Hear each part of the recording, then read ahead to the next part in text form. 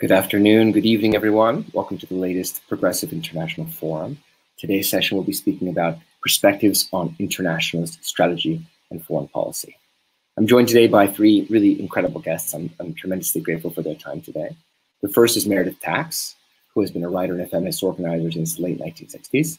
Meredith's most recent book is A Road Unforeseen, Women Fight the Islamic State, which was published in 2016 and a range of other books and publications that, that, that are you know riven through her CV, including The Rising of the Women, Feminist Solidarity and Class Conflict between 1880 and 1917, as well as two novels, Rivington Street and Union Square. She's the co-founder of the International PEN Women's Writers Committee, founding president of Women's World, a global free speech network of feminist writers, and of course, she's a founding member of the Emergency Committee for Rojava, founded in 2018, and about which we'll be speaking today. And I want to welcome you, Meredith. Welcome some to the to the broadcast.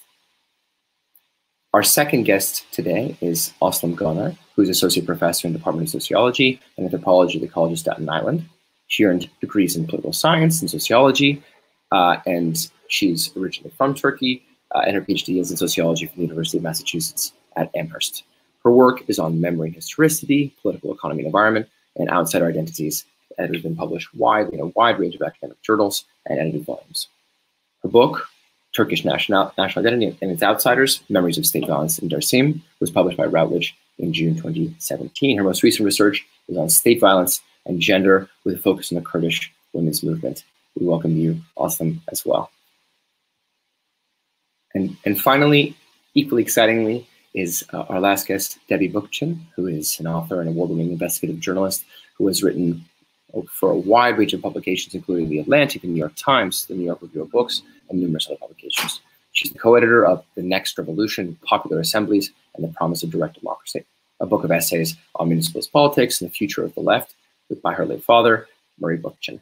She spent three years as a press secretary for Senator Bernie Sanders when he was first elected to the U.S. Congress, and she joins us now. Welcome, Debbie, to the broadcast. So it's really it's such a pleasure to have you all here, and to, really you know, we're all very very inspired by your work, and I'm so lucky to have the opportunity to speak with you about it today. And I thought that we could begin the discussion today by really talking about the uh, Emergency Committee for Rojava, which is of course uh, just two, just two years old, but uh, comes at an essential time in terms of the, the status of the Rojava project and uh, the evolution of events inside Turkey. So I want to turn it over to you, Debbie, to say a bit about where do you think we are and maybe the foundation of the of the ECR and um, why you think it's so important that we're having this conversation when we're having it, namely in a time of tremendous uh, upheaval, pandemic, and uh, historic and unprecedented uh, recession. Why why do we feel like the work of the, the ERC, ECR rather is, is so essential at this moment in time? Well, thanks, David. Thanks so much for the kind introduction and for moderating, and thanks to Progressive International for hosting us and to all those listeners out there who are tuning in. And I'm sure many people listening to this forum already know about Rojava, but I'd like to begin, just for those who may not, by locating Rojava a bit geographically and politically. Rojava consists of a strip of land in northern Syria running along the Turkish border. It comprises a total land mass about the size of Belgium, and the current population is about 4 million people. Rojava declared autonomy in 2012 after the army of Syrian dictator Bashar al-Assad withdrew to fight rebels in other parts of Syria. But its political roots go back well before them, as Özlem will discuss a little in a moment. Since declaring autonomy, Rojava has implemented a unique governance system built on three pillars, feminism, ecology, and radical grassroots democracy, pillars that are consciously articulated in direct opposition to the values that permeate societies in most of the rest of the world, patriarchy, capitalism, and the nation state. We began working on Kurdish solidarity back in 2014 in another organization, but we founded the ECR in January 2018, specifically in response to Turkey invading the northwest region of Rojava known as Afrin. Almost overnight, this invasion displaced 200,000 Kurdish people. They fled bombing by the Turkish Air Force, including the shelling of hospitals and water treatment plants, many with just the clothes on their backs, and thousands of them still sleep in open air refugee camps. And the destruction of Afrin under Turkish rule has continued since then, month after month, year after year, with Turkish backed jihadi gangs occupying Turkish homes, looting, raping, kidnapping, and murdering mostly Kurds, but also Yazidis and others in this multi ethnic region. Turkey's now settling new occupants in Afrin, mostly Arabs from other parts of Syria, in a blatant program of ethnic cleansing.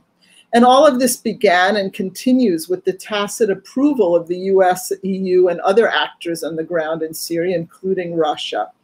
This fact's particularly outrageous given the enormous sacrifice the Kurds made in the battle against ISIS, where they lost 9,000 of their men and women, along with 2,000 Arab souls, to rid the region of the so called caliphate. Trump's most recent decision to withdraw troops in October 2019 from the Kurdish areas has been equally catastrophic.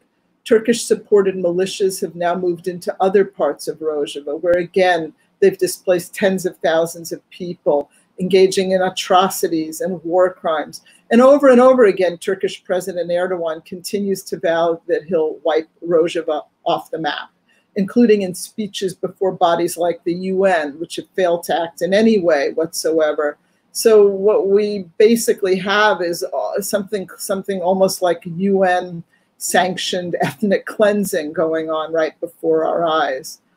And the reason that for this, of course, is that Rojava's democratic feminist society is the polar opposite of what's going on in Turkey and indeed in vast parts of the world right now as we all are seeing from Orban in Hungary, Bolsonaro in Brazil, Modi in India to Trump in the US, we really re- we face a rising tide of fascism unlike anything seen since the 1930s.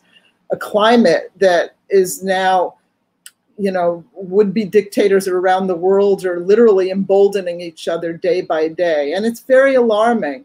Uh, folks watching this from Europe should know that the US is right now really on the precipice of a, a full blown Giorgio Agamben nightmare, literally, as we speak hour by hour. Trump's pressing forward with a grand experiment to see just how fast he can get away with imposing a state of exception.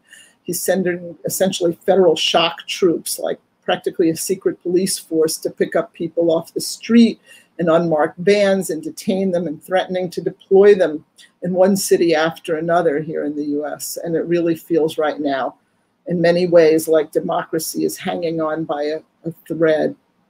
Nothing could stand in greater contrast with this state of affairs than the society being built in Rojava. It wasn't really until I spent a few weeks there last year that I could comprehend what a radical transformation has taken place there and just how profoundly democratic and feminist that society is. I think by now, most people know that women serve as co chairs in every government or administrative position and effectively have 50% of all representation on legislative bodies there.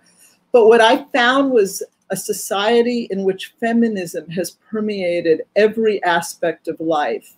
In the economy, where women run cooperatives are blossoming in every field, from, from sewing to restaurant ownership to agriculture.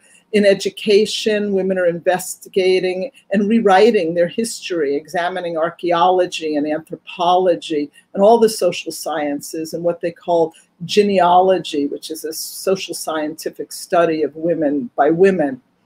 The women's umbrella group, Kongra Star, has created academies where women of all ethnicities are invited to come and live communally for several weeks and talk about their needs and wants and desires and get education they need to become active actors in the social organization of the region.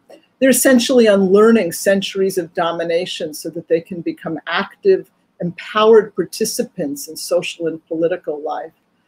And the last thing I'd like to highlight is the role that radical democracy plays in Rojava society. The, the social organization there, which they call democratic confederalism, it's based on an elaborate, elaborate system of grassroots assembly democracy that starts at the commune level, which can be anywhere from 30 to 200 households. In cities, The commune might be just a couple of blocks in tiny villages, it might be half a village. And it sends delegates who are elected and accountable to the assembly and recallable even up to the next level, which is the neighborhood or village council, which in turn sends delegates to the city or district level and ultimately to the region wide assemblies, the equivalent of what would be a national assembly for a nation state. And really importantly, alongside these councils, there are committees at every level on health, for example, the environment, defense, women, economy, politics, justice, which anybody in the community can participate in. And, and also significantly, parallel to this democratic system of communes and committees, there's an entirely distinct women's structure that is women only committees on each one of those subjects at every level of government in each of the areas I just mentioned. And in any case where there's an issue regarding women, the women's committees can overrule the mixed gender committee. So for example, in the case of reproductive health care for women, women alone make the final decision about rules that govern their bodies. And what I want to, I guess, close in saying is that none of this happened overnight. This work really began decades earlier and included education, and struggle over a long period that began with the liberation of women in the Kurdish women's movement in, in Bakur, the southeast region of Turkey, and at which I think Özlem could talk a little bit about. Yes, um, thank you, Debbie, for that um, great introduction of the Rojava Revolution and that speaks for why we stand for and why we defend this revolution and why we started the emergency committee of Rojava. I myself am from uh, Bakur region. I am from Dersim, which is an Alevi Kurdish um, town, which we, I might come to a little bit later. Um, but it's important to situate the Rojava revolution, and it's also important to situate the violence against the Turkish state's attacks against Rojava and what it signified, what it symbolizes for the Kurdish populations. And so Turkish state's attacks against the Rojava revolution was traumatic and at the same time enraging for many of the Kurds who have experienced this violence in different forms, in different places, and um, who have had memories of the state violence that were transferred to them, you know, memories of Dersim genocide, memories of Anfal in Iraq, and have struggled to end it. Um, the violence against the Kurdish populations actually dates back to the colonization of the Kurds in the early 20th century, where European powers, at the time it was mainly England and France, decided that an independent Kurdish state would not be in their interest. And since then, Turkey, Iraq, Syria, and Iran, with the complicity of Europe and the US, have massacred, displaced, and tried to assimilate Kurdish populations.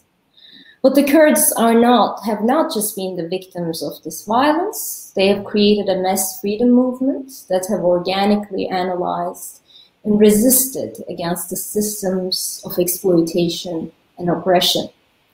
Hence, in this sense, as you said, as Debbie clearly explained, that the revolution in Rojava has a long history dating back to the struggles against colonization of the Kurdish people in the early 20th century, and that took many forms of struggle in many parts of Kurdistan and turned into a Kurdish freedom movement and a Kurdish women's freedom movement within that movement starting in the 1980s with the emergence of the PKK, the Kurdish Workers' Party. And uh, the resistance and resilience of Rojava against ISIS within this history has given hope not only to Kurds, but to all those who were looking for alternatives to global capitalism, to state oppression and patriarchy. And Turkey like the US was obviously the opposite of this revolution. It has long been oppressing its populations and it has been um, working on the capitalist front and have exerted various forms of state violence against its populations and against women. And so Turkey at, real, at first tried to back up ISIS, and there are many um, proofs of this, but realizing that its support for ISIS will not be enough to stop Rojava revolution, um, started to attack the region openly with its military and air force aligned with the ISIS and other jihadi militia. Starting in 2016, these attacks became openly done under the name of the Turkish state. And Debbie explained this in 2018. Uh, it had invaded Afrin, had ex exterminated the democratic experience that was led by women in that region. So I'm not going to go in detail there, but I want to just uh, mention this because this is the context where I started working with the Emergency Committee for Rojava. Um, because both the Turkish attacks and the international silence, and this is much beyond silence actually, it is cooperation with Turkey to the extent that they continue to have capitalist ties, that they continue to sell armaments to Turkey, and this was outrageous. And also from the perspective of Kurds, this was the repetition of this history of violence against Kurds that was initiated by the regional empires of Turkey and Iraq and Syria and, um, and, and Iran, and that it has to come to an end at this point. And this silence and this cooperation and complicity in these regimes war against the Kurdish populations have outraged many of us in um, 2018 with the occupation of Afrin, and that it continued, as Debbie said, at the UN in September 2019. Erdogan spoke and openly discussed its plans of ethnic cleansing in Rojava, which was then followed by Trump's decision to withdraw the US troops that were only there and that were providing a buffer against the Turkish attacks. And since then, basically, Turkish attacks, feminicide, because we also know that these attacks, they're especially targeting the jihadi forces in the field and the Turkish military forces, have openly attacking the women revolutionaries, women activists in the region. Um, and this feminicide occupation continues without international condemnation. And so ECR, in that sense, does important work to defend Rojava uh, revolution and to practice and spread its principles. And I think I just can't help but say that as we speak, as we're speaking right now, Turkey is attacking Rojava, is attacking Kurds in Iraq, as well as its own Kurdish population and killing and imprisoning, and the world remains silent. And that is why ECR's Emergency Committee Rojava's interventions have been meaningful, especially in the US, where there is a lack of an organized Kurdish community. Um, so Kurdish associations here, such as the American Kurdish Association, have not been very active.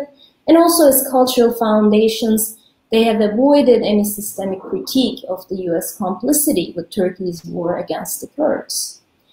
And um, not only the revolutionaries in Rojava were able to stop ISIS, so it was something in the US that could have gained attention from the general public, but they, as Debbie explained clearly, have provided a model of peaceful coexistence among the ethnic and religious groups that have been pitted against each other by regional and international colonial powers for over a century now. And in this sense, the democratic confederalist model practiced in Rojava offers a solution to wars and proxy wars in the region. And ECR continues its support of the Rojava revolution based on feminist, ecological, and democratic confederalist pillars, as well as its continuing work to cultivate solidarity between the leftist, feminist, ecological, and municipalist groups and other movements of the oppressed makes it unique among the organizations that defend the rights of the Kurdish people and the broader principles of the Rojava Revolution. So I'm talking a little bit about ECR's work here and why we're discussing it and why I continue to work in this and care about it. And um, so our work ethic and practices, and this is also something, you know, to look at the Rojava Revolution, but to also try to replicate its ethic and practices in your own organization. So our uh, work ethic and practices have been deeply influenced by the feminist, radical, democratic, and internationalist principles of the Rojava Revolution, and also the Kurdish women's freedom movement that has dated um, that was in place even before the Rojava Revolution. For example, women have very high representation in the ECR steering committee. We organize panels, reading groups on Kurdish women's movement and feminist principles of Rojava, and our decision-making process, organizational structure, and cooperation and solidarity with other groups are in line with the Kurdish women's liberation movement that I have followed closely in my work. And especially in the last year, um, I think Debbie will say a little bit more about ECR's work, but I just want to say something that I'm part of, I've been part of as part of ECR, that we have focused on building solidarity in this moment, which, you know, have exposed all the ills with the um, capitalist system and state oppression that goes along with it, racism and colonialism that goes along with global capitalism. So in this sense, we try to understand, um, we try to look into the parallels of the struggles. For example, we have organized discussion groups to understand um, the parallels of our struggles with the indigenous movements of the Americas, with the Black Lives Matter movement, and we believe that studying this history and the contemporary vision of these movements is crucial for building a collective movement towards an anti-capitalist, anti-racist, anti-patriarchal world. And one of the concrete examples of our solidarity and collective work has been the formation of a coalition um, that ECR uh, founded together with, along with other groups, other organizations, that is called Global Prison Abolitionist Coalition.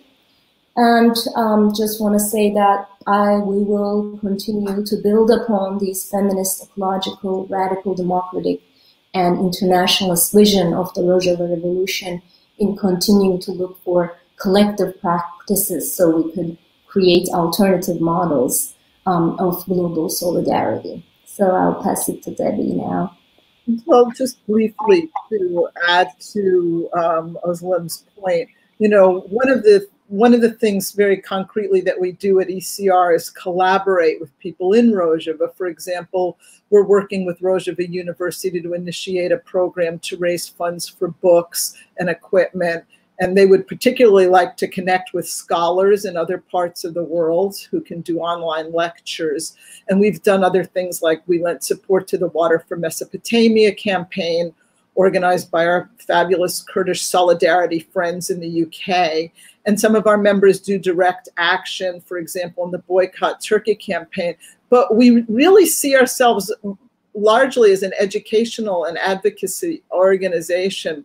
So while we've had you know a certain amount of success happily in broader publications like getting op-eds published and letters in the new york times and the nation and elsewhere what our desire is to connect much more with progressives in the us and internationally who we really hope will join us in advocating for rojava and you know it's understandable that especially here in the united states people are deeply stressed by covid and its fallout and also by the critical need to rid ourselves of Trump.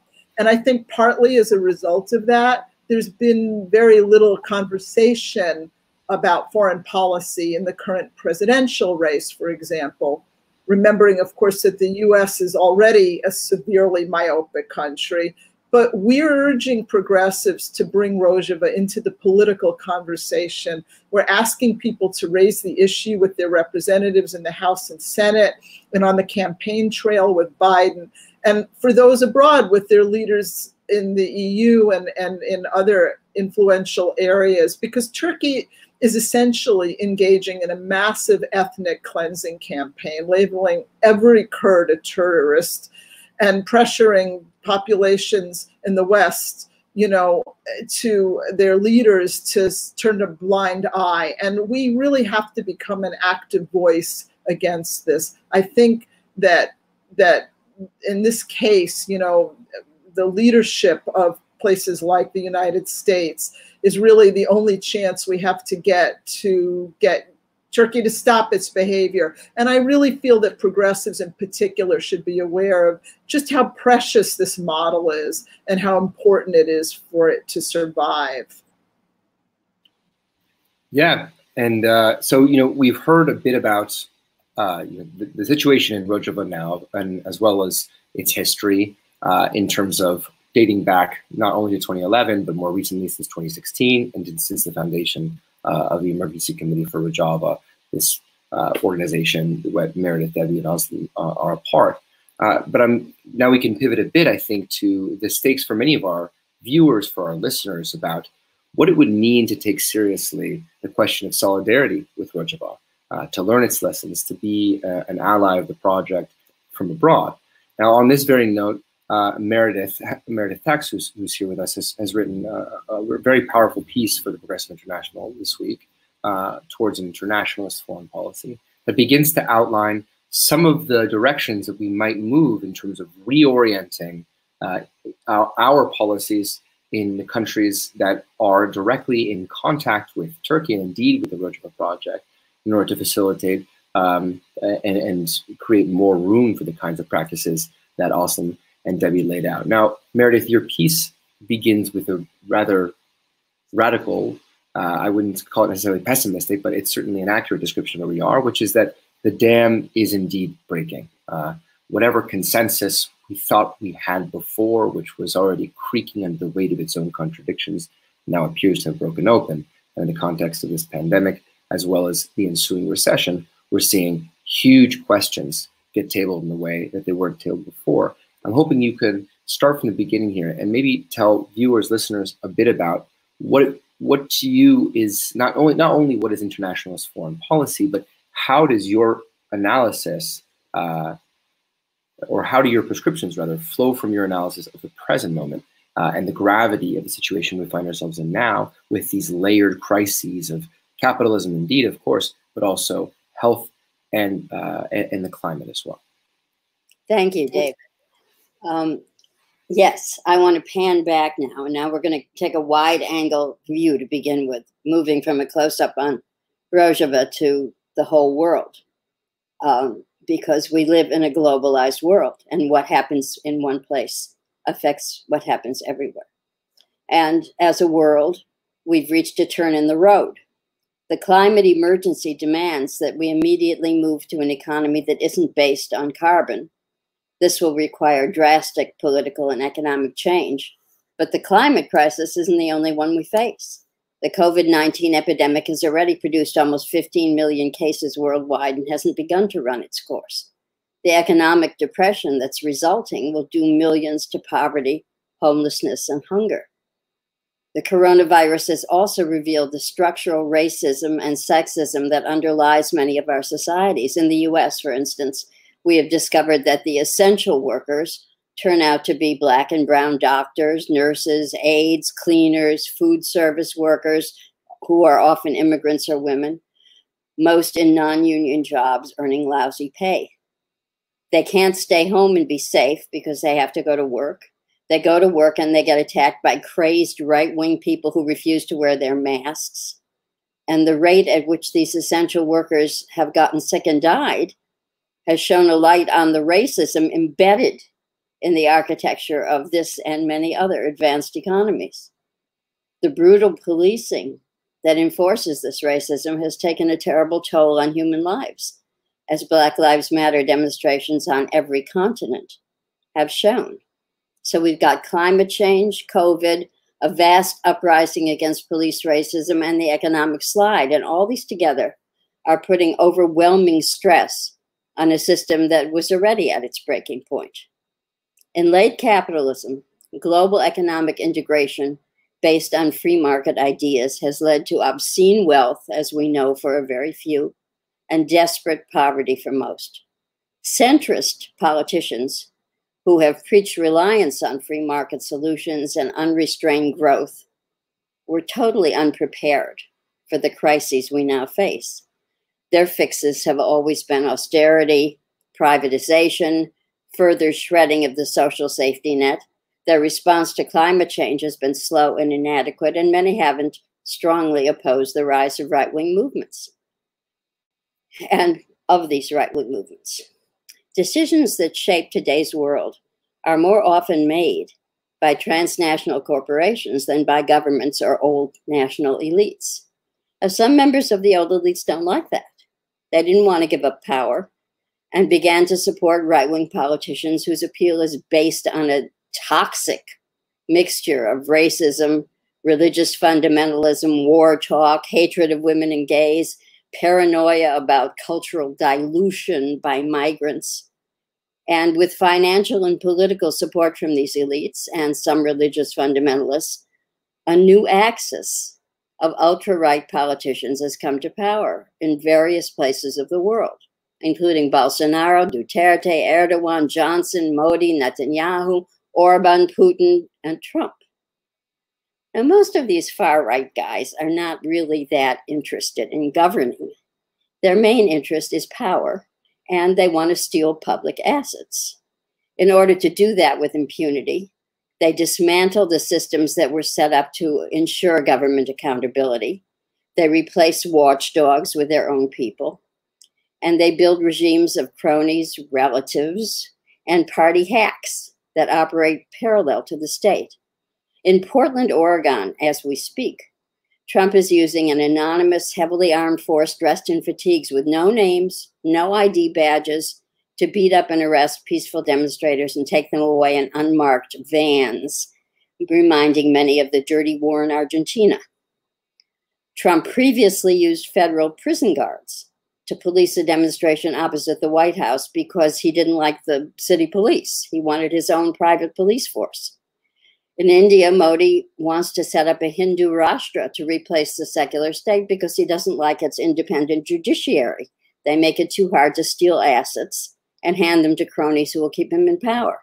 So, what we end up with in this new system is not just the old kind of government with some politicians who are corrupt in it, but a regime that is running parallel to the government and whose whole reason for these parallel regimes result in hollowed out incapable states that have no political legitimacy and no ability to deal with real crises like the coronavirus epidemic. In order to build a base that will keep them in power while they construct these parallel regimes, the right wing leaders we're talking about target minorities, migrants, women, LGBT people. They invoke religion. They undermine basic democratic rights like voting, assembly, freedom of speech through constant encouragement of bigotry and persecution and appeals to religion, they attack the very idea of universal human rights. And since they lack the legitimacy that comes from giving real leadership, they can only rule by force, fear, and lies, relying on the military, the police, preachers, and a captive media to build a dam strong enough to contain popular dissent. But the ice cap is melting water is rising all over the world, and the dam they have built cannot hold. In the last 10 years, it has developed cracks in one place after another. The Arab Spring revolts, the strikes by the French Gilets jaunes, the Hong Kong uprising, the ongoing revolutions in Algeria and Sudan, the countrywide demonstrations defending the secular constitution and protecting Muslim women's citizenship in India, and so on and so on. The enormous wave of Black Lives Matter demonstrations in the US has reached even little bitty country towns that are almost all white. And these anti racist protests have become global. At least for the moment, the dam has well and truly broken. But what happens when a dam breaks? Can the people who own it force the pieces back together or glue them with super glue or band them with iron bands? to make them last? How long can they last? Will the outrushing water overwhelm us all? Or can the water be organized and channeled to irrigate the dry land? We have to find out. We're probably entering a long period of extreme instability and social unrest, with many more breaks in the dam due to climate change, subsistence crises, epidemics, and local wars leading to increased migration, even if by some miracle we can cut carbon emissions in half in the next 10 years as required, the Arctic ice caps are melting. This will cause a sea level rise of three to six inches. Here's what that means the collapse of critical ecosystems like the Amazon and the oceans underwater, large parts of Bangladesh, India, Vietnam, and the Seychelles, cities like Venice, Miami, New Orleans, Jakarta, and Lagos, bigger and better hurricanes every year, devastating whoever they hit, wildfires like the recent ones in California and Australia, and parts of Australia, Africa, the Mediterranean, the Amazon, Central America, and the Southwest US will become deserts. And many cities will run out of water. And all this means that millions of people won't have any place to live and they won't have enough to eat. So the youngest and strongest will try to leave wherever they are and go somewhere safe. And where are they going to go? And what are the people who are in the safer parts of the world going to do to help? Are they going to try to keep out the migrants and keep everything for themselves? Are they going to let the people the migrants leave behind starve to death? How can the world organize itself fast enough to mitigate some of these disasters? current international arrangements are just not strong enough to deal with climate change. They don't have any teeth. Can we build alternatives? Can we do it fast enough? What kind of models can we use? Who will help? The progressive movement has got to get organized and scale up very fast. We know the center has no solutions. We know we can expect nothing but cruelty and obstruction from the right. So here are some of the questions we have to look at. What is our current capacity as progressives compared to the capacity of the right? not good. How can we improve it? How can we organize in real life during or after the epidemic and decrease our dangerous reliance on the web? Noting the web is subject to hacking and that the Indian state shut it down in Kashmir for a month when it wanted to stop an uprising. So, how else can we work? What about the elephant in the room? The question of how the progressive movement should organize itself locally, nationally, globally. Are loose internet dependent networks an adequate alternative to political parties? If not, what kind of parties do we need to build? We haven't united on an answer to this question. And at this stage, which is an interim stage, when we don't actually agree on very much, beyond a very general set of principles and what we are opposed to, the key to moving forward, we think, is to develop actual programs on the ground. We need to test out our ideas in practice, as they're doing in Rojava. We need to build unity in the process of doing things that make people's lives better and more secure. We can't do the job by just talking and writing. So, what kind of program should we focus on? I can see three main kinds climate change organizing and popular education, labor organizing, particularly in the precarious parts of the economy. In the US, labor has been almost wiped out in the last 30, 40 years, and community organizing around a variety of practical issues. Women are critical in all these areas because of our skill set and where we're located in the economy. Historically, women come to the fore in times of scarcity and rapid social change sometimes militantly in bread strikes or unemployment riots, sometimes more gradually by developing social programs to improve living conditions like housing and food co ops, tenant groups, schools, public parks, small scale industries. We have to anticipate that the dam is going to keep breaking in the US, in your country, in ways and places we can't imagine now. We need organizations in place that can keep the water flowing through every breach in the dam, helping each other, hopefully at a manageable rate, until we reach the point when finally, as promised by Dr. King and the prophet Amos, justice will flow down like a river, righteousness like a mighty stream. Whew, Meredith, well, We've got a lot of questions, a lot of answers, and I'm so excited about the opportunity that we have now to dig even deeper into the more prescriptive elements that flow from this analysis of where we are and the kind of hydra of crises that we're up against.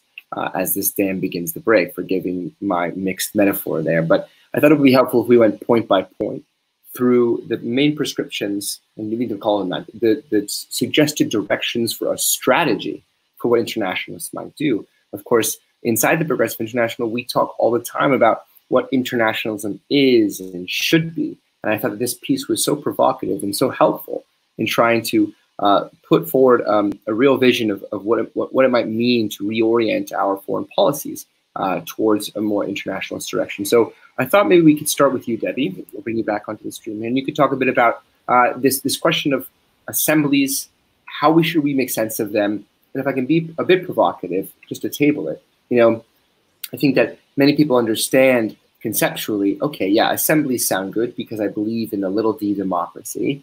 How to make this concept uh, get traction, uh, be politically palatable, and then of course be politically practical. And maybe you could say a bit about you know wh why we should be cohering around the demand for popular assemblies and more direct forms of democracy.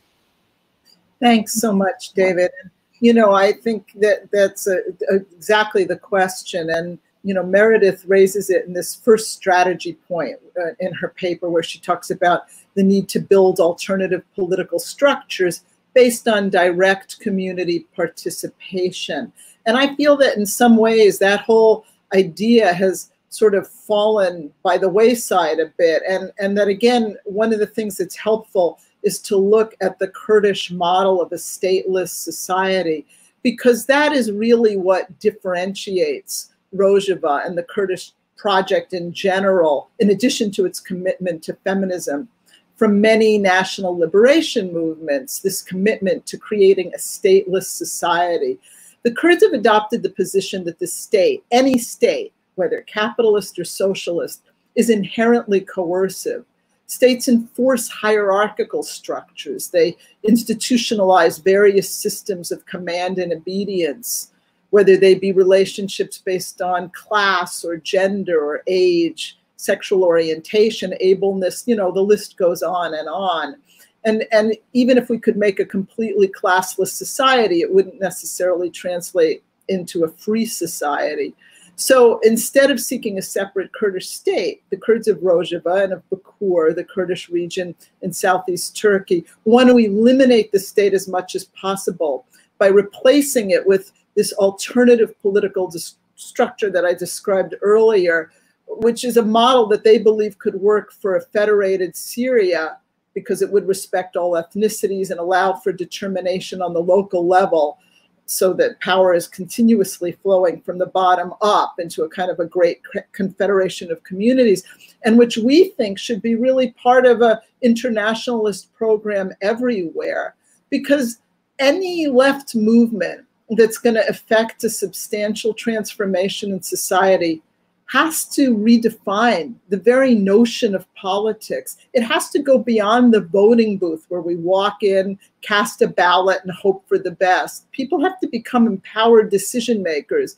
And that means we have to create forums where people can meet, hopefully face to face again someday, but you know, to discuss and decide issues, and then delegate someone from their community who's accountable to the community and recallable and who represents their views, the views of the assembly at the next level, as opposed to making decisions themselves, which is very different from the representative model that we have today in Western democracies.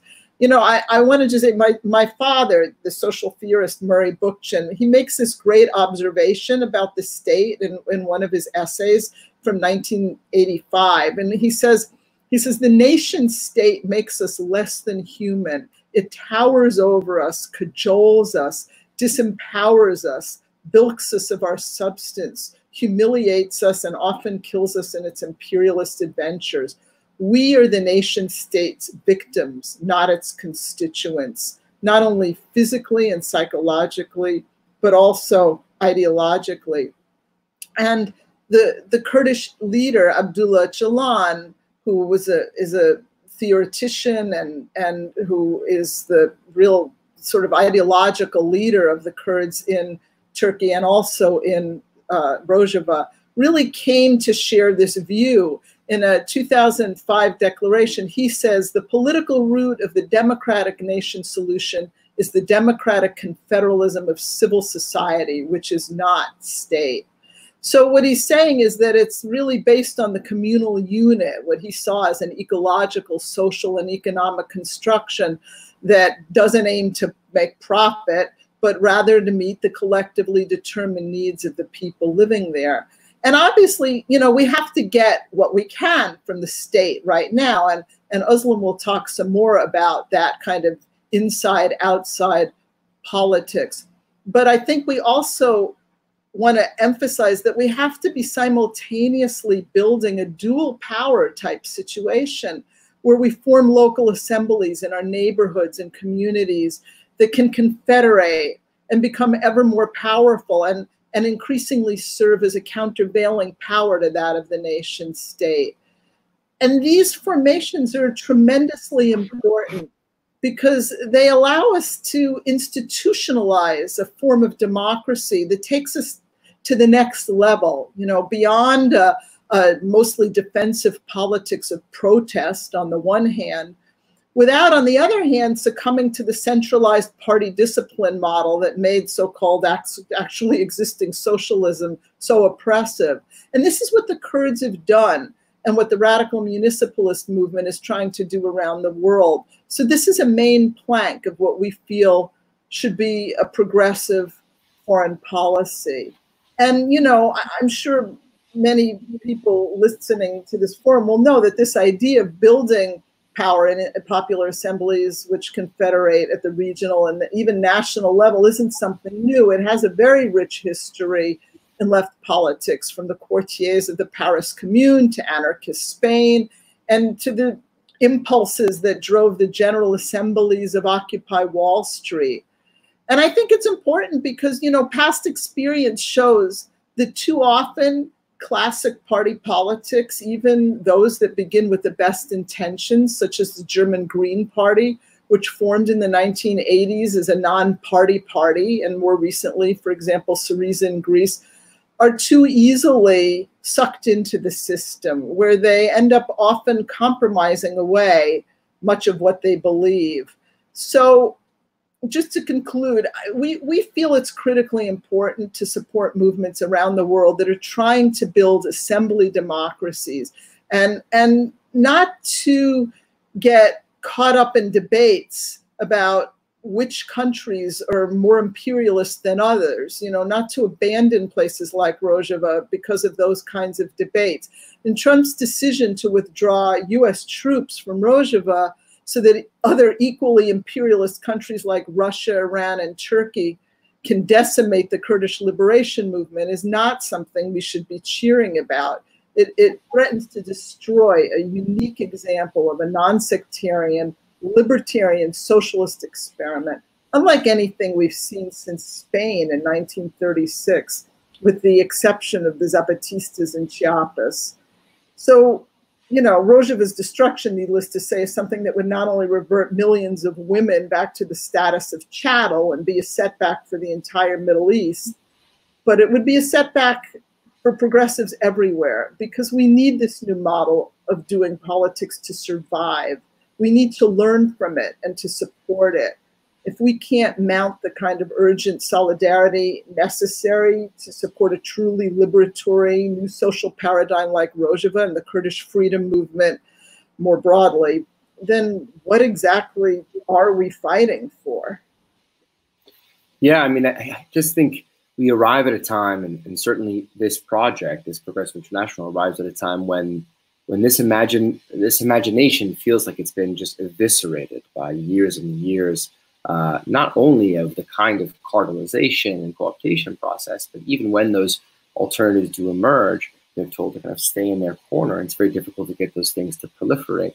And one thing that ends up happening is that when these radical ruptures emerge, like you know uprisings in various parts of the world, it's difficult then for people to get on board by saying, "Yep, these popular assemblies are, are worthwhile, you know, as this exactly as you say, this this counterweight, because it's very difficult, I think, for people to imagine what is the relationship going to be in the end with the state. Are we are we determined to just end up like just another political party, or are we doomed to be permanently cast off to the margins uh, of the political conversation because we refuse to engage with the state? And you know, it's really on that on that note, you, you mentioned Debbie this this this concept of inside outside relationships with the state, which I think is you know deeply powerful and also deeply confounding uh, for the kinds of politics heavily corporatized, mass but cartelized party systems that we live in. So, Özlem, I'm hoping you could say a bit more about you know what is this plank of an internationalist foreign policy, or indeed just a way of organizing ourselves uh, in any country. Uh, any good internationalist should really take heed. Yes, thank you. Thank you, Debbie. and thank you, David. Uh, yes, I mean, as Debbie expressed clearly, the Kurdish freedom movement and the emergency committee for Rojava is ultimately critical of the state, which holds political power and the monopoly of violence at the expense of people, and especially the outsiders. But you know, we are also a group that thinks practically, that thinks of strategies and how to do things, how to you know uh, hold on to the existing power that we have, but transform them, push them into new directions. And David, as you're saying, most of our imagination is even um, uh, thinks of politics and political models in terms of the nation state model. So the Kurdish freedom movement is quite critical of this. And there is, you know, the democratic confederalist model practiced in Rojava is a product of this critique of the state. Um, but I, we need to think about, as you said, until a stateless, direct democratic model practiced at local and global levels. So we're thinking of a model that is below and above the nation state to come up with different imaginaries and different practices of political governance. But until these are established, which we support, that they need to be established, that our movement is very much in line with trying to um, move bottom up direct democracy. But until these are established all over the world and globally, the state remains in a quite contradictory position. Because on one hand, the state has historically been in the service of the nationalist ruling elite, and the capitalist class, as Meredith said, has gained even more power in the recent decades in the neoliberal era. But on the other hand, the state has been transformed by struggles of the working class, of the feminist movements, among others, and provided a certain buffer zone against neoliberal capitalism. So the historical struggles over the working day and environmental regulations, the gains such as social security, unemployment benefits, gains of the feminist movement such as the right to abortion have been attacked by conservative neoliberal governments who have pushed for privatization, austerity, together with repressive policies against women and other oppressed populations, as Meredith uh, clearly explained in her analogy of the dam. Um, so these struggles to participate in and transform local and national government should be recognized and transformed, though, towards a more democratic bottom-up model. For example, you know, to make this more clear, um, in the two contexts that I'm most familiar with, Turkey and the United States, movements continue to shape the state sphere. So there is some room to shape the state sphere, while at the same time developing alternative means of politics and self-governance. In Turkey, for example, the HDP, People's Democratic Party, have worked in tandem with independent outside organizations outside of the state. So they've always worked bottom up and in solidarity with the leftist and workers' movements. But they also developed a movement broad enough to work inside the state and run campaigns and elect parliamentary candidates. And they succeeded in capturing the local state itself in very heavily Kurdish cities by electing co-mayors and city council members, as in the case of Sur, Cizre, Dersim, and many other places in Bakur, which is in the borders of Turkey. And once they had the state, they began to turn it to social uses like funding women's organizations and renaming place names, for example, that were uh, places that were given Turkish names. Uh, after the Armenian genocide and after the repression of the Kurds, and they reverted the erasure of this memory. They also made sure the financial affairs were honest and transparent and revealed the previous theft by other parties, you know, because HDP was a bottom-up grassroots um, a party, even though it was a political party, that it was working in tandem, so both within and outside of the state. And their local state victories and their success in the local governments made the AKP government in Turkey so upset that they have arrested hundreds of co-mayors and elected officials, and they replaced them with the anti-democratic state-appointed officials called the Kayyums. So while important, the state sphere has vast limitations and is effective as long as the government at least tries to look democratic, which is no longer the case for Turkey. Hence, these strategies about in and outside of the state should we develop depending on the political context and not based on a priori conceptions of uh, what the state or what global politics should look like. In the US, for example, compared to Turkey, there's still, you know, depending on all the um, recent, especially um, uh, dictatorship, um, in the US, there's still more opening as various movements on racial justice have called for defunding of the police, using this funding to support areas such as education and free public education, access to universal health care, which was, um, as you know, abolished in many places around the globe with the austerity governments of neoliberal policies. And as well as in the US, reparations claimed within the state sphere reparations for slavery and the systematic structural racism. So though these moments are by no means bounded by the appeals to the state sphere or electric, electoral policies, um, they eliminate a deeper critique of global capitalism and do have the potential to develop alternative grassroots models like Cooperations Jackson. So the argument here is that how can you work within the state so to not let go of those gains uh, and to continue to push it so that there is more equality and justice because the states, until we reach out to this grassroots model that's uh, you know experimented everywhere, the state has that power. That state sphere um, uh, it, it needs to be pushed to be used in the needs of the oppressed and the women. And um, also similar to this evolution towards a stateless model, through the strengthening of the local movements and cooperatives, another area that becomes important where the state is the central actor is international level and international cooperation between the existing nation states to target problems like global warming, occupation, and war. But we need to do this, we need to be in support of these within the state uh, through electoral politics models for as long as we are supporting and developing towards more democratic models.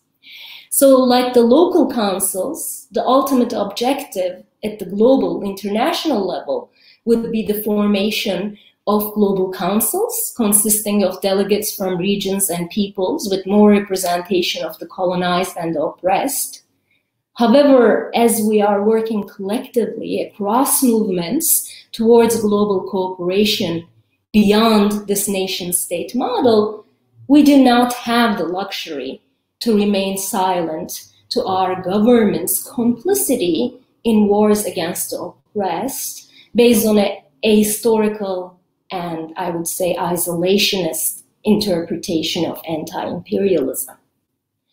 This interpretation created a very sad and ironic cooperation between some segments of the left and the Trump administration, as Debbie mentioned, when the US troops left northeast Syria, letting Turkey to commit ethnic cleansing and feminicide.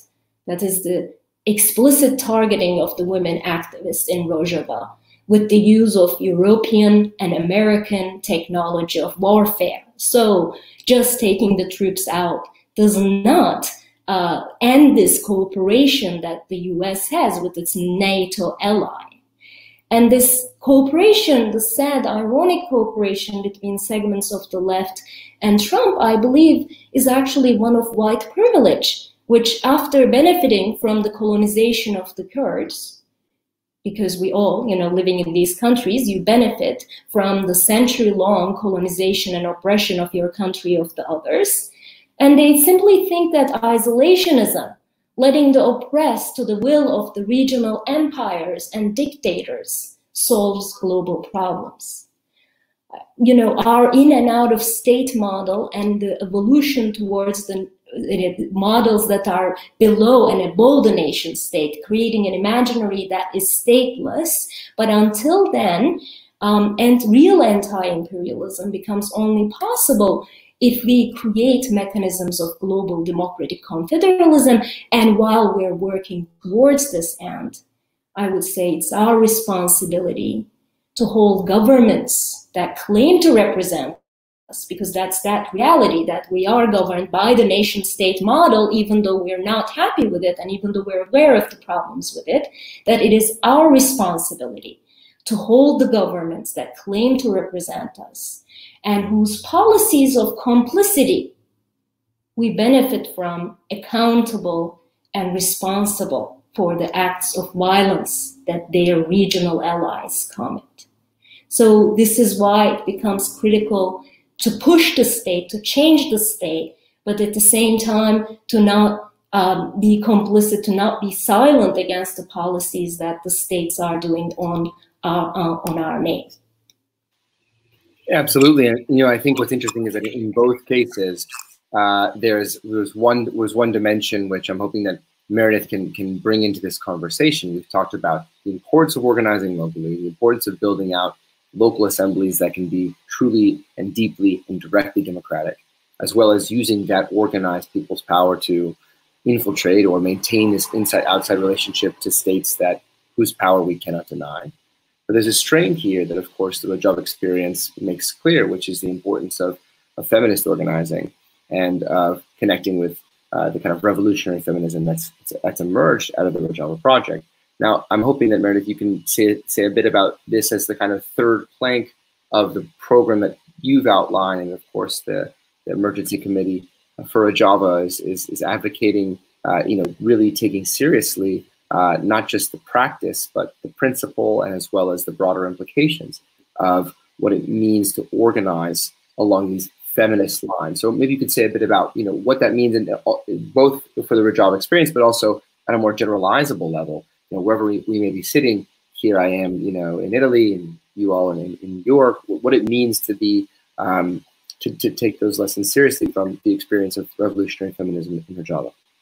I would love to. Um, so just first, a brief recap. We're proposing a three-point strategy. One is base building in different kinds of organizations, which could lead up to assemblies. The second is an inside-outside approach to the state. And the third is a strategic partnership between progressives and the feminist movement, like the one they have in Rojava. One reason Rojava was able to defeat ISIS when nobody else can is that they fully integrate women's leadership on every level, from the neighborhood commune to the top military command, and thus they are able to draw on the strength of the whole society. And as people have said, this is part of a long history. Um, it was it wasn't easy. The women had to fight to get into this position. Um, that when hundreds of them in the early 90s went to the mountains to join the PKK, they didn't get a warm welcome from most of the male guerrillas. Some of the commanders wanted to send them home, some wanted to marry them, but the women persisted. And they were encouraged by the PKK's leader, Abdullah Öcalan, to organize autonomous women's military units and play a leading role in the party. And this turned out to be very important because the women's ideas of what should be done turned out to be opposed to the approach favored by some leading commanders and thus the change that resulted from including autonomous women's units was not only quantitative, but qualitative, and resulted in uh, backing away from a purely military reproach, approach and a new line that emphasized community organizing and negotiations with Turkey. So fast forward to Rojava, which Debbie and Özlem have both talked about already. But um, so I'm not going to go over the mechanisms that they described about the ways, uh, the different structural and ideological and programmatic ways that women are brought into uh, a position of equality and at the same time maintaining autonomous women's groups and working in mixed groups. But just compare this with the operating system of any progressive organization you have ever been in. Compare the strength and resilience of the movement that beat ISIS with the strength we are going to need in our battle against the global right. And look at the women's movement globally. Now, it's not as strong as it was in the 90s. Who is? It's weaker, it's more NGO based than the Kurdish women's movement, but it still has enormous strength, as shown by massive Latin American marches against violence and for abortion rights, the leadership of women in places like Sudan, the huge, diverse U- US women's resistance movement, exemplified by the work of Black Lives Matter, the Rising Majority, and the women's marches, all led by women of color. Think how much stronger we could be if this feminist movement and the progressive movement internationally were partners. What stands in the way of such a partnership? Well, a lot. And we have to look at it. We have conservatism and lack of trust on the part of many women's organizations, inspired by decades of mistakes by progressives and left wing organizations who have ignored or trashed the feminist movement, neglected women's issues, done little or no internal education on patriarchy, and failed to develop women's leadership in their own organizations. Some groups have considered women's issues a minor contradiction that can wait until after the revolution. Many groups proceed on the assumption that women members exist to do the work, to support and carry out the ideas of the male leaders who are, of course, always assumed to be these ideas are assumed to be everyone's ideas. And unless you have a real democratic organization, you may not ever find out what everybody's real ideas are. Um, and indeed, some progressive organizations have seen the feminist movement as a rival and continually trash it as bourgeois or reformist. And it gets worse. In the last six years alone, Three left wing organizations I could name have had to deal with accusations of rape by men in leadership. One of these groups lost most of its members, and the other two dissolved as a result of the accusations like, this is the way a progressive organization copes with rape to put itself out of existence.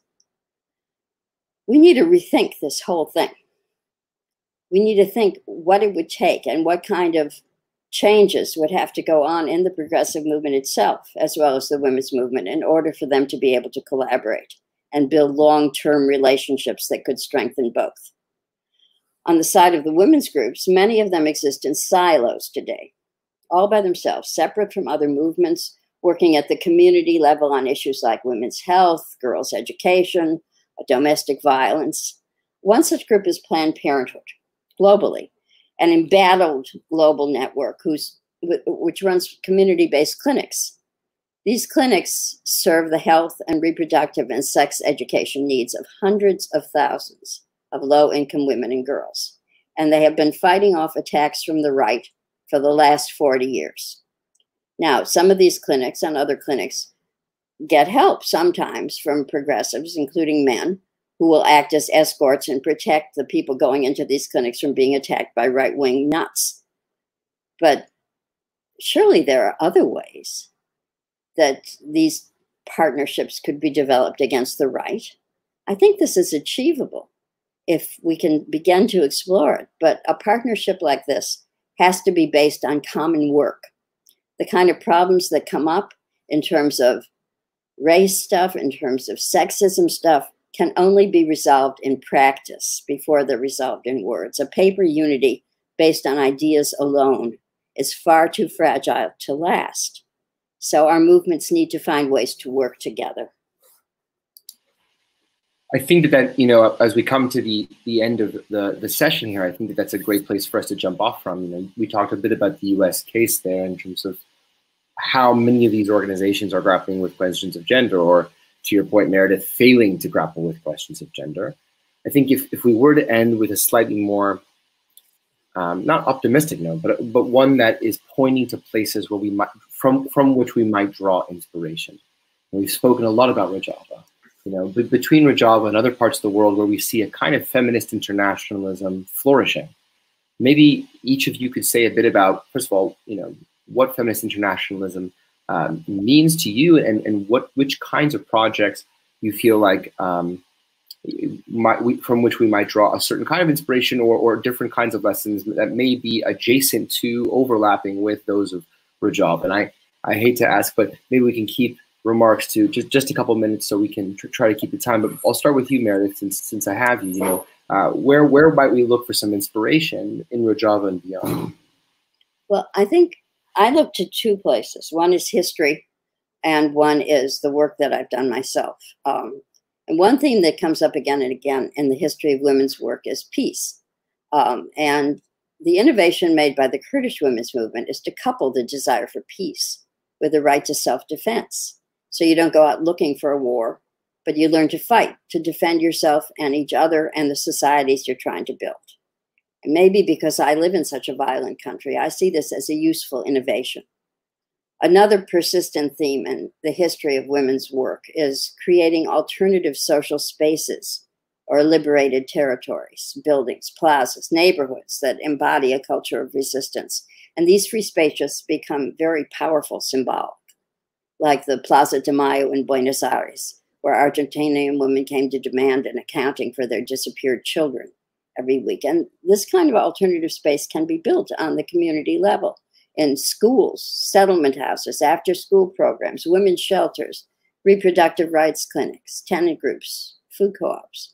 The other thing that inspires me is work I did before and after the UN Conference on Women in Beijing in 1995, when women from around the world developed an approach to human rights that insisted the legal framework be applied to women's lives in ways not previously imagined, ways that challenge the old distinction between public and private life like making mass rape during civil conflicts a war crime, not just a crime against individuals. And these changes were fiercely opposed by some male lawyers.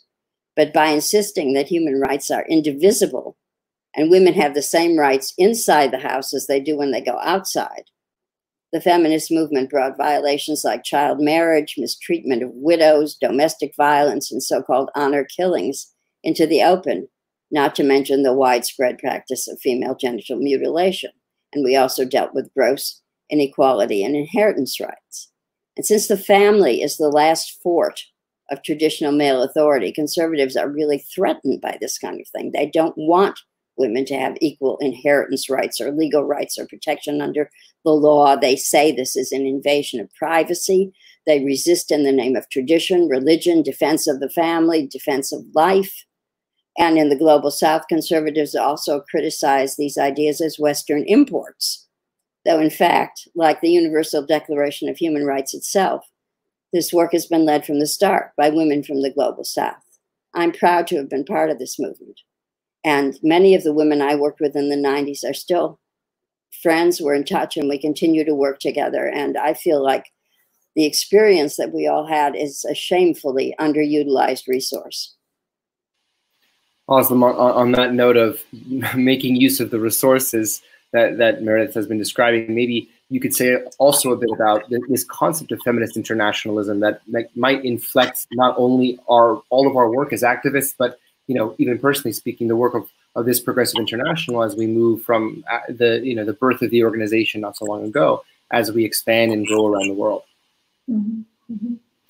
Yeah, I mean, I think one of the things I want to emphasize, you know, this is, uh, you asked about Rojava and what's beyond Rojava. I see, you know, people are interested in the self-defense and women's um, YPJ forces in Rojava that defended themselves uh, against, not only against um, state violence, ISIS violence, but against patriarchy and against capitalism, that they have developed a consciousness um, against all these forms of oppressive and exploitative systems in power. So um, I want to say, you know, how did this come about? Is it has, as we've been emphasizing from the beginning, that it has a long history uh, of Kurdish women's freedom movement that has deeply inspired me, um, and that uh, also growing up in part of Turkey, which was an ethnic and religious minority and had a long-lived leftist and guerrilla movements that have found refuge in the mountains of this town.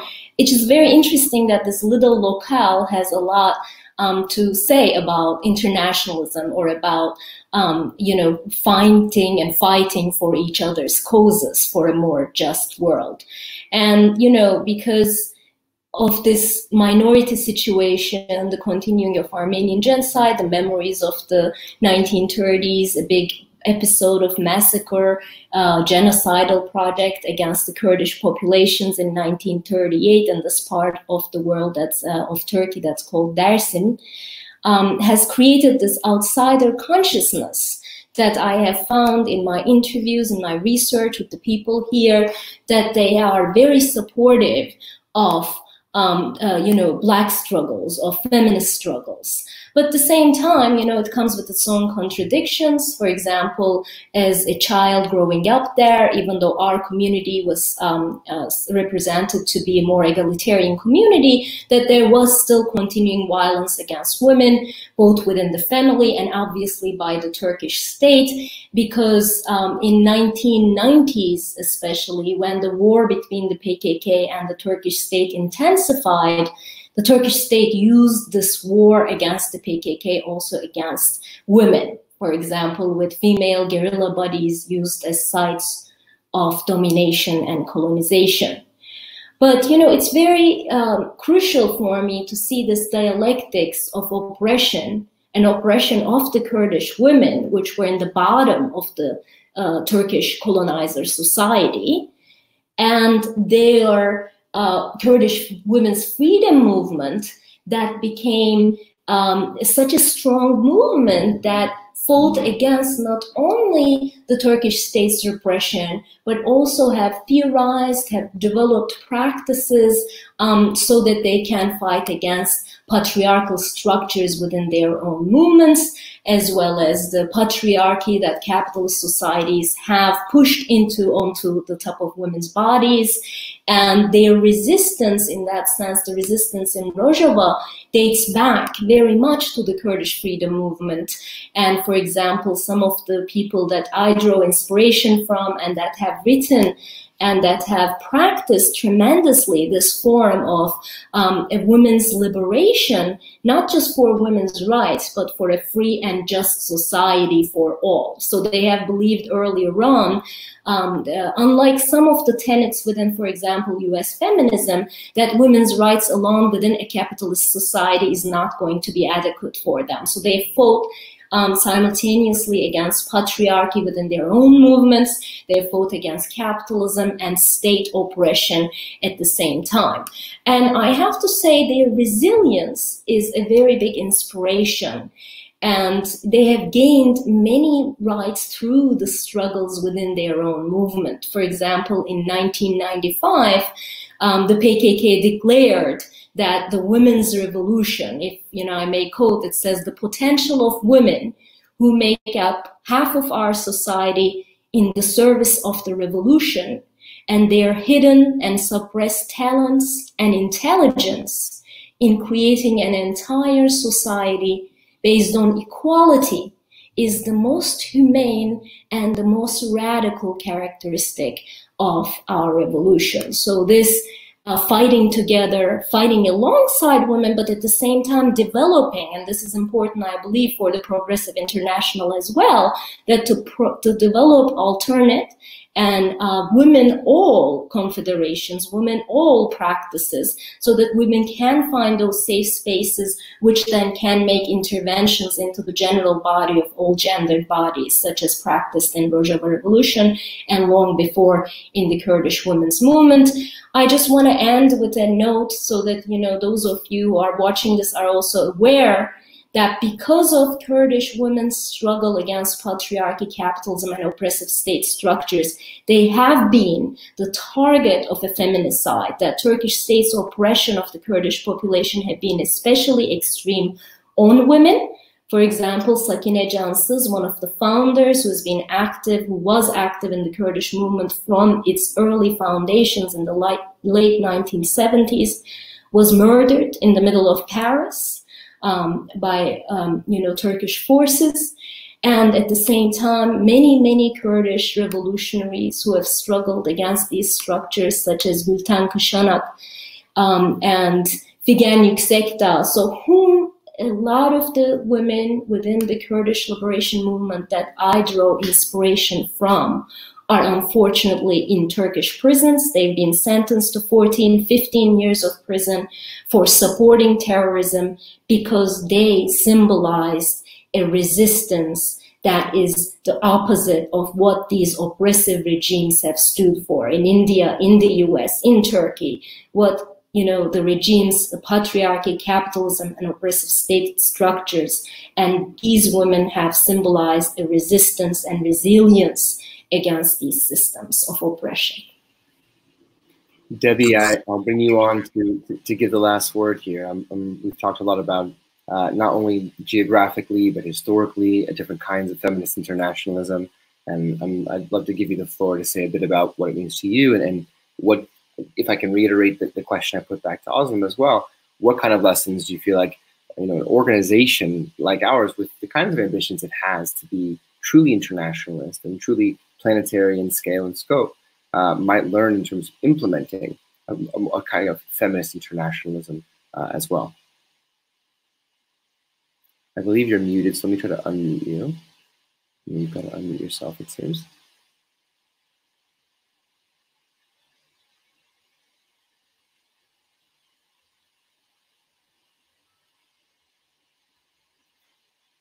give it a moment.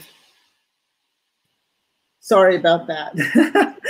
um, you know, thank you, by the way, for this opportunity. I know we're really nearing the end of our time and you know what I what I want to just say, um, it, and I'll be very brief, is that when I was in Rojava, you know, one of the things I did was I asked them sort of what can we do to support you in your work, and over and over again, the most common answer that I got was start in your own communities, please begin to create this to follow a sort of this assembly model of democracy start to get people to understand that politics has to be transformed. It has to become something that people do for themselves, you know, rather than something that's done to them by by these, you know, these representatives in faraway places. And so, like, I find leadership of women trying to do this actually all over the world now. As Meredith mentioned, you know, the, the women of the global south, of Argentina, of Bolivia, the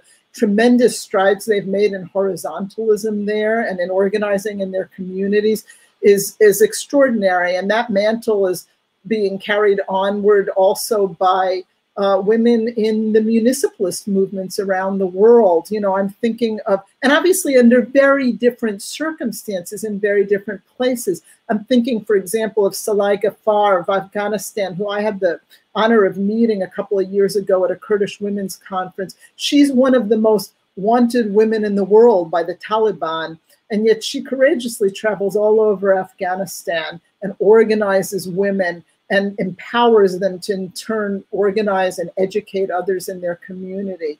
And then uh, in their various communities all around Afghanistan. And then there are people, you know, everybody from the, the great women of Barcelona en Comú who are really working to feminize politics and to articulate what a really feminized politics would mean. And, you know, people like Emily Clancy in Bologna, who's a young, very young uh, city councilor there and who has really worked to tirelessly oppose PD uh, efforts, the, the Partito Democratico in Bologna to develop the hell out of the city there.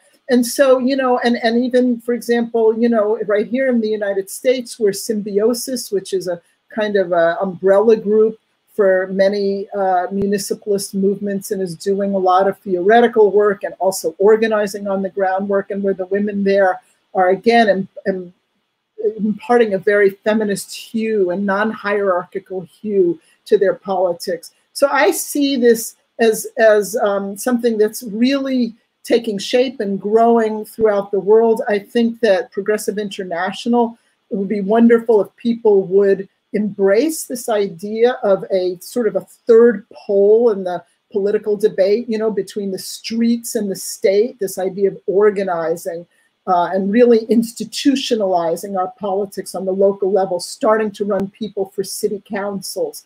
Um, and a lot of this is happening in Europe. A lot more can happen and certainly should happen in the United States. But in my mind, these folks and, and this or this form of organizing are, are really the future.